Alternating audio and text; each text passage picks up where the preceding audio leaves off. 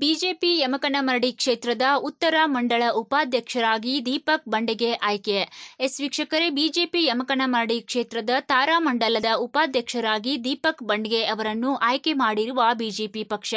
ಅವರಿಗೆ ಇಂದು ಚಿಕ್ಕೋಡಿ ಲೋಕಸಭಾ ಸಂಸದರಾದ ಅಣ್ಣಾ ಸಾಹೇಬ್ ಜೊಲ್ಲೆಯವರು ಸನ್ಮಾನ ಮಾಡಿ ಬಿಜೆಪಿ ಪಕ್ಷದಲ್ಲಿ ಶಿಸ್ತು ಹಾಗೂ ಪಕ್ಷದ ಸಂಘಟನೆಯನ್ನು ಇನ್ನೂ ಬೆಳೆಸಬೇಕು ಎಂದು ಹೇಳಿ ಶುಭ ಹಾರೈಸಿದರು.